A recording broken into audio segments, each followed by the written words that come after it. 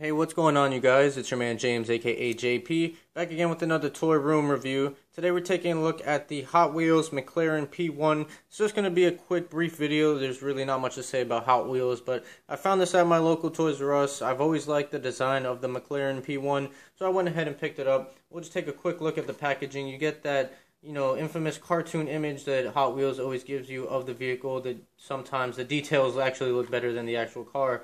But, you know, both of these actually look pretty similar, so that's, you know, that's good. Uh, so down here you got Hot Wheels Workshop, and down there you got number, what is that, 223 out of 2... And right down here you got number 223 out of 250. You got McLaren P1, and on the back just your standard Hot Wheels packaging. So let's go ahead and unbox this guy right quick. Get him out of the packaging here. Throw that to the side.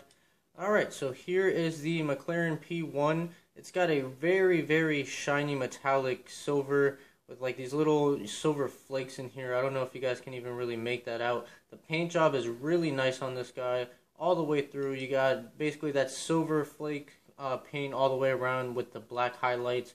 You got the flat black here and the gloss black for the windows as well as the top of the roof over here. And then you just got standard silver rims, but they look very nice.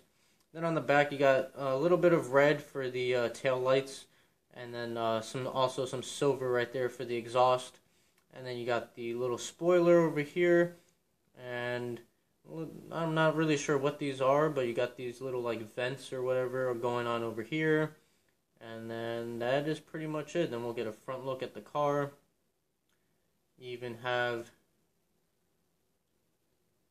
the McLaren logo, which it looks like it's off to the right a little bit too much. I feel like it should be right about there. So I don't know if that's just an error on mine or if that's how it is in real life.